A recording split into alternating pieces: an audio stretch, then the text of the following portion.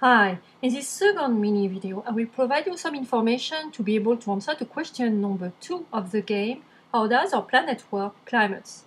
Here is Hélène Gaonac'h. Question number 2 is Where is the Mediterranean climate located?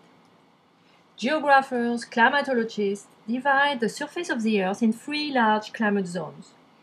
The tropical zone ranges from a 30 degrees north latitude and uh, 30 degrees south latitude. A temperate zone is found in both hemispheres between a 30 degrees latitude and a 60 degrees latitude, north and south. And a polar zone, present in both hemispheres too, is located between a 60 degrees latitude and a 90 degrees latitude, south and north.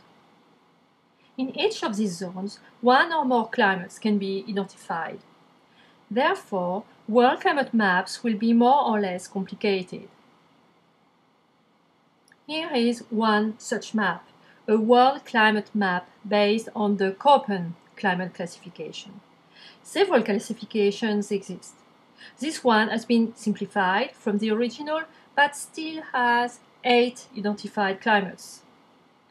What is interesting is that some of these climates are related with latitudes. This is the case of the polar climate, which is located between 60 degrees and 90 degrees latitudes. Other climates, on the other hand, are more widely distributed. For example, the tropical climate in dark green on the map here.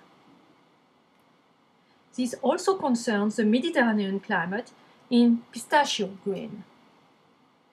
This climate is located as suggested by its name around the Mediterranean Sea, but can also be found in other places on the earth, as for example in California, in South Africa. I will give you a few characteristics for some of these climates without going into too many details. If we consider the desert climate, in red on the map. This climate is characterized by a small amount of precipitation throughout the year. Look at the two graphs here. The graph on the left shows temperatures for each month of the year. Minimum temperatures recorded every 24 hours in blue. It is, of course, an average over each month. Maximum temperatures recorded every 24 hours in red, also monthly averages. The graph on the right exhibits the quantity of precipitation in millimeter of water precipitated for each month of the year. We see that the amount of precipitation is very small throughout the year under a desert climate. But we can also notice that the average maximum temperature at Las Vegas in US is also at 15 degrees Celsius or above the year round. We are indeed under a hot desert climate. Hot and cold desert climates exist on the, on the planet. In both cases, Small quantities of precipitation is noticed all year round, but some have higher temperatures than the others. Here is the Rub' al-Khali Desert, also called the Empty Quarter in South Arabia.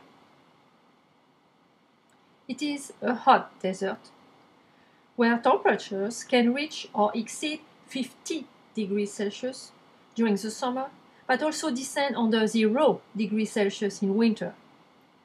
The Gobi Desert is in turn a cold desert located in Mongolia and China. Its maximum temperatures can exceed 30 degrees Celsius during the day in summer. Its minimum temperatures can go below minus 40 degrees Celsius. If we look at two other climates, the tropical climate and the equatorial climate. These are two hot climates with maximum temperatures over 15 degrees Celsius throughout the year. But there are differences in their precipitation quantities. Under the tropical climate, we can identify a dry season and a humid season. Under the equatorial climate, heavy rain is happening during the whole year, so no dry season. Hence, similarities for the temperatures and differences for the precipitation. These two climates allow vegetation to grow very easily, and we will obviously have luxuriant vegetation under these two climates. Here is the end of the second mini video. You can find all the videos about this climate game on the blog at the address jeuclimatsen.blogspot.ca. Have a nice day.